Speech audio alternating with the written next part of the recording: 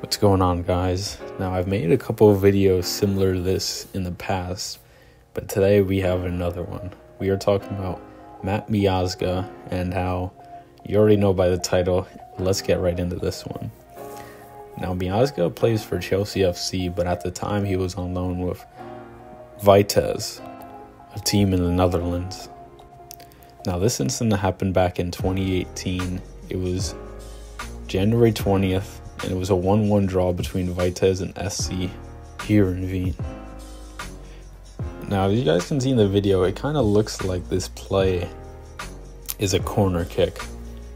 And in the previous videos I've done before, we've seen the same incident on the same play, a corner kick. Now, I've known some of you guys have left in the comments that this is a tactic that players will use to, you know, throw off their opponents. Now, I don't care how you're trying to throw off your opponents. You know, in my opinion, I would never do this as a player and would never want somebody else to do this to me. And for the record, I don't condone this type of behavior. You know, obviously, Miazga actually got fined by his club for this. They released in a statement that, in quote, we regret the commotion that has arisen.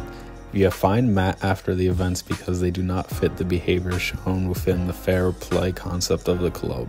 End quote. Now, I no longer play competitively, but I again do not recommend doing this. You know, stick to shirt pulling, maybe a little bit of push at the most, but do not do this.